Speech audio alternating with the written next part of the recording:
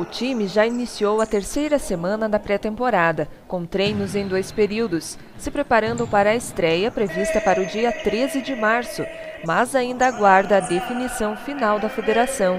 Fazendo trabalhos bastante intensos, bastante é, proveitosos, né, para que a gente possa chegar nesse dia da estreia aí e realizar uma boa partida, independente do, do adversário que, que venha pela frente.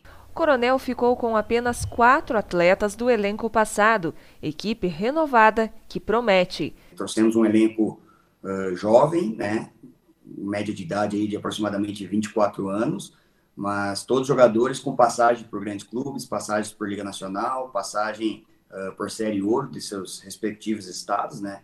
Então nós trouxemos um grupo jovem, porém um grupo com uma certa bagagem, para não sentir o peso aí de repente de jogar uma, uma série ouro que a gente sabe que é muito difícil. O time está hoje formado com 16 jogadores. Mas a gente, como sempre diz, está sempre de olho no mercado. Então, possivelmente aí até a estreia ou depois do início da competição, talvez esteja vindo mais alguns atletas. É a primeira vez do Coronel na Série Ouro do Campeonato Paranaense de Futsal, Toda a comunidade vividense aguarda ansiosa a estreia da equipe. A expectativa é muito grande de todos, né? da, da população, do clube, dos atletas, da comissão, da diretoria em si, né? Porque é a primeira vez que o clube participa de uma Série Ouro, foi uma Série Ouro que o clube galgou por muitos anos e agora, graças a Deus, a gente conseguiu alcançar, né? Então a expectativa é muito grande da gente estar tá recebendo é, esses clubes de liga aqui no nosso ginásio, estar tá recebendo jogadores aí de seleção brasileira, de, de, de, de, grandes equipes, né? Porque hoje, querendo ou não, o nosso campeonato é, é, o maior do Brasil, tirando a Liga Nacional, né? Temos aí seis, sete equipes de Liga Nacional, temos o Dois Vizinhos, que é campeão da, da Copa do Brasil, temos é, algumas equipes com investimento muito alto, é, algumas equipes com uma tradição enorme aqui no cenário do, do, do, do, estado, né? Então a gente sabe que vai ser uma competição muito difícil, né?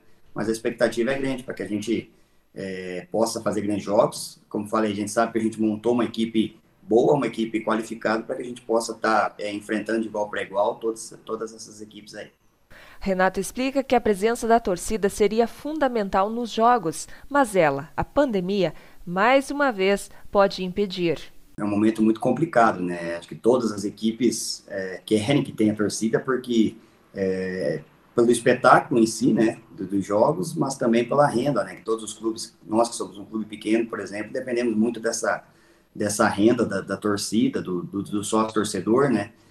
Então a gente torce que sim, que o mais breve possível é, retorne para o ginásio, para que possa estar tá fazendo um, um lindo espetáculo e ajudando também financeiramente a equipe, né?